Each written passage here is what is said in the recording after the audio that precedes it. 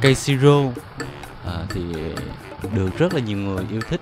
À, trồng ở trước cổng cái nhà của mình hoặc là những cái quán xá thì trang trí rất là đẹp.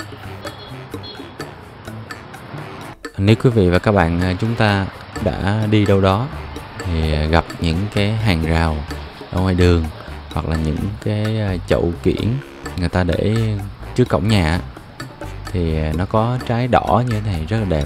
Đó chính là cây siro cái siro thì ờ, chúng ta à, tạo vàng để mà tạo cái dáng cho cái cánh cổng của chúng ta thì cũng được. Thứ hai là nó vẫn một mình nó tự đứng vững được. Quý vị và các bạn à, lấy cây giống từ loại 50 ngàn à, cao khoảng à, 30 35 cm cho đến cây cỡ vừa hai trăm rưỡi ba trăm rưỡi thì à, trồng nó vẫn lên được như thế này. À, chỉ cần mất hai ba năm là trái nó đã xum xuê rồi cây nó to luôn.